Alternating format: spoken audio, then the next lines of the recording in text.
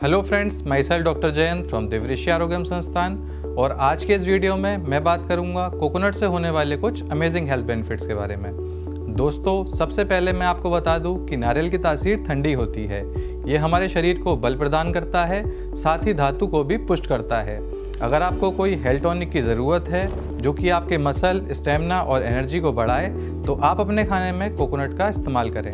लेकिन ये पचने में भारी है तो जिन लोगों की अग्नि मंद है, वो इसका कम सेवन करें। आयुर्वेद में से वस्ती शोधन करने वाला कहा गया है। अगर आपका यूरिन ठीक से नहीं होता, आपको बार बार यूरिन के लिए जाना पड़ता है यूटीआई इन्फेक्शन है, या फिर कॉन्स्टिपेशन की समस्या है तो आपको अपनी डाइट में कोकोनट का इस्तेमाल संभल कर करना चाहिए। कोकोनट आपके शरीर में वात और पित्त को कम करता है, लेकिन कफ को बढ़ाता है। अगर आपके शरीर या बालों में रूखापन है, वज़न कम हो रहा है, थकान बहुत ज़्यादा रहती है, नींद नहीं आ रही है और अगर आपकी कफ प्रकृति है, साथ ही वेट बढ़ता जा रहा है, आलस रहता है तो इसका सेवन आपको कम करना चाहिए, क्योंकि इसकी वजह से आपको कफ संबंधित रोग हो सकते हैं। अगर आपको पित्त दोष बढ़ जाने के कारण शरीर में गर्मी है, जलन है, पसीना अधिक आता है तो नारियल का सेवन करें। ये पित्त दोष को कम करता है। रक्त धातु के लिए भी बहुत अच्छा काम करता है। अगर आपको खून की खराबी से कोई बीमारी है तो उसमें भी आप इसका यूज़ कर सकते हैं। आयुर्वेद के अनुसार नारियल पानी स्निग्ध है। ये शरीर में लुब्रिकेशन का काम करता है।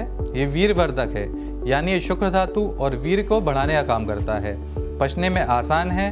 अगर आपको बार बार पानी पीने के बाद भी प्यास नहीं बुझती है तो आप नारियल पानी को पूरा दिन थोड़ा थोड़ा करके पिए। जिससे कि आपको सारे इलेक्ट्रोलाइट्स मिल सकें और बॉडी बैलेंस मेंटेन हो सके।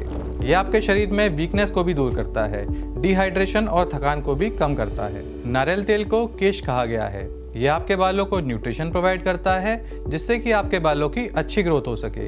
इसकी तासीर ठंडी होने के कारण ये आपके हाथ पैरों में हो रही जलन को भी कम करता है।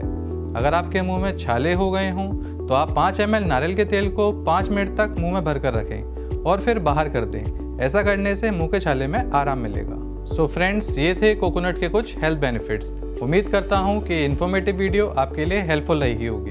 वीडियो पसंद आई हो तो इसे लाइक एंड शेयर करें। अगर अभी तक आपने हमारे चैनल को सब्सक्राइब नहीं किया है तो इसे सब्सक्राइब करें। इसके अलावा अगर आप हमसे कुछ पूछना चाहते हैं तो कमेंट करके पूछ सकते हैं। अगर आप किसी बीमारी से पीड़ित हैं और उसका आयुर्वेद ट्रीटमेंट कराना चाहते हैं तो आप हमसे कॉल करके बात कर सकते हैं या हमारे संस्थान भी आ सकते हैं। धन्यवाद।